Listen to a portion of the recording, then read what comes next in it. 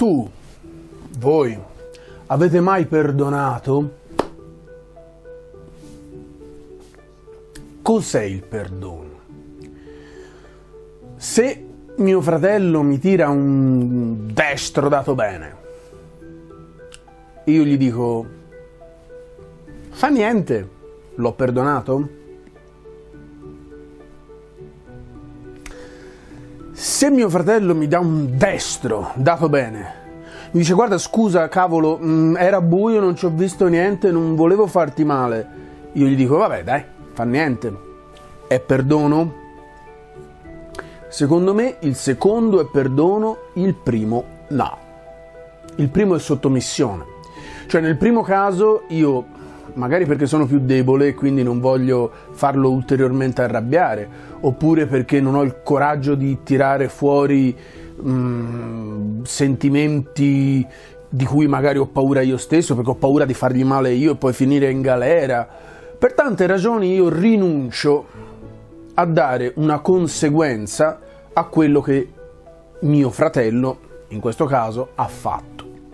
Nella seconda invece delle storielle, degli esempi, il fratello eh, si è scusato, cioè non lo voleva veramente fare, l'ha fatto per sbaglio. Allora lì io giustamente gli dico, ah, guarda, non ti preoccupare, non fa niente, mi ha tirato un destro, ma credevi che fosse un ladro. Bah, sono cose che succedono.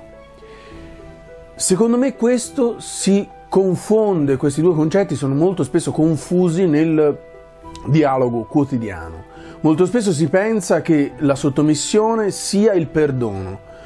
Molto spesso si crede, per esempio, che se il mio capo ufficio mi fa mobbing e io non reagisco, beh, perché sono una persona paziente. No, sei un verme. Reagisci. Reagisci in maniera civile. Non lo picchiare perché non ha senso, però reagisci agisci di conseguenza.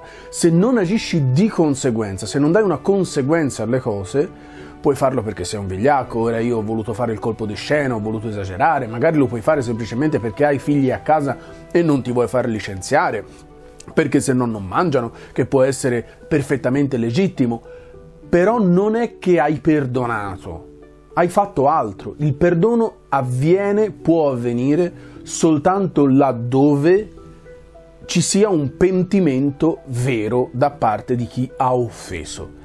Se chi ha offeso non si pente, c'è poco da perdonare. Cioè tu non stai perdonando, ti stai sottomettendo, stai subendo e zitto.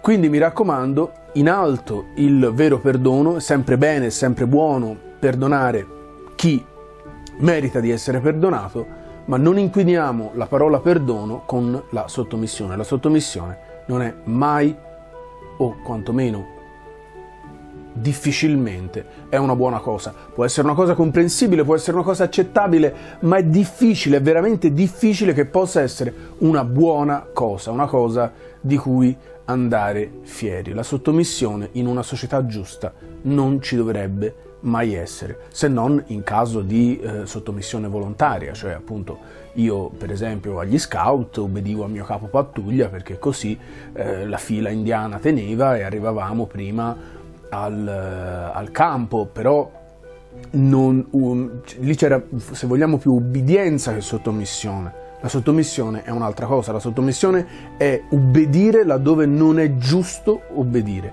e questo effettivamente io credo sia difficile poterlo difendere. Ciao.